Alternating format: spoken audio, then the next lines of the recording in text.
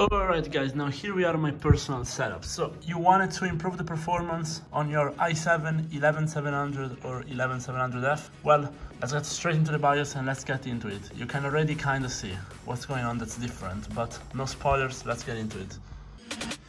Okay, now here we are. So basically there's a way to essentially increase the performance slash overclock this i7, those locked i7 on the 11th and 10th gen. This also works on the 11 10700 and 10700F. Anyway, what we want to do is remove the power limitations. If you remove them, they will run essentially like an i7 11700K in my case. Now you will probably have no chance overclocking the RAM over 3200 MHz even though your XMP is higher. Um, don't waste time with that. They are really, really binned on the IMC. But anyway, the first thing we want to do is undervolt it. Now, how to do it?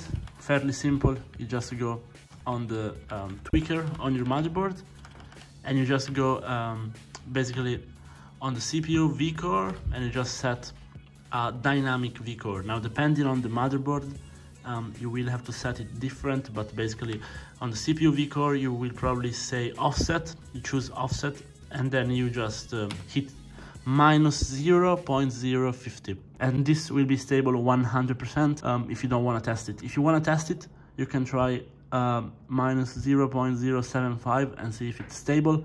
That could work on some CPUs if you're very very lucky you could get 0. minus 0.1 try it out. This will lower the performance and the power consumption. At this point what we want to do is basically unlock all the power limits that are on the motherboard. So depending on uh, the motherboard again you will have to do it a bit differently. But here you basically go on advanced CPU options and then you will have something which is called uh, power limits basically um, something very similar to this. And so you want to essentially just uh, hit all nines here and just uh, you know get the maximum possible uh, value for each one uh, as to unlock them instead of using them on auto. Because on auto they will throttle down your CPU and you will actually um, you know lose performance over time. So we are basically overclocking how the CPU behaves after like 10 seconds. Because after 10 seconds from 4.4 it would have dropped down to like 4 gigahertz. But now it's staying up at 4.4 flat the whole time this is going to give you a pretty significant performance advantage in productivity and in games. Try it out, uh, it's really something. And then, if you want to be extra with it, you can also go on the C states. Now, I haven't done this on my CPU, but you can go on the C states and disable them. Um, if you disable the C states, the C states are basically um, different power states, okay? If you do that, you will essentially always run the CPU at full speed, okay?